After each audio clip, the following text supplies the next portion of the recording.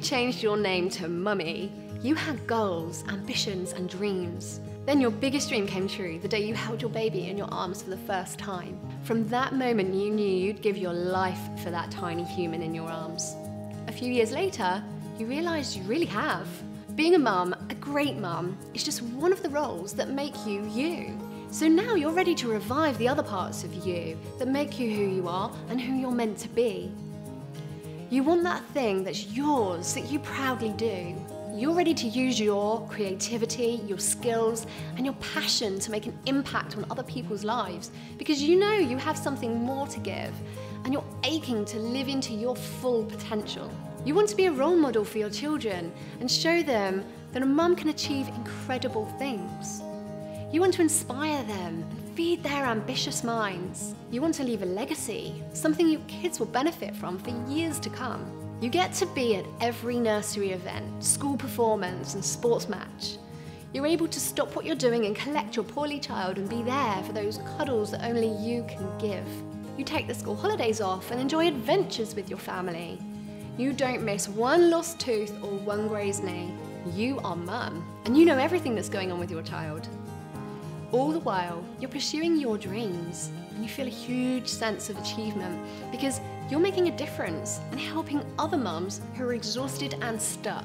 You feel human again as you interact with other like minded women. No more baby brain. You're learning and feeling confident about your professional capabilities. You're also contributing to the home and family lifestyle. You take the kids out for pizza on a Friday night because they've done so well at school that week, and it's on you because you've just taken on two new clients. This is the life of the mum who decides to be who she most wants to be. This is me and many other women I know. This could absolutely be you too. One thing successful business mums have in common is they take action.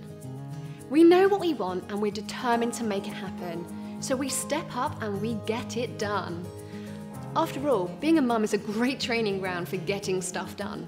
There's no sitting around and leaving things to someday.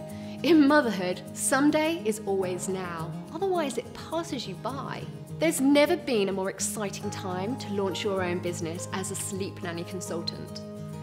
Parents are living in faster paced and busier worlds than ever before, and it's more important than ever that they are all sleeping as soundly as possible. We intend to lead the way as a global brand, setting the standard for helping tired parents, and we want to hear from you if you have what it takes to be a part of this. With a limited number of academy places each month, applicants are due now. We'll carefully select those applicants who fit our sleep nanny culture and begin the new chapter creating your dream business and life.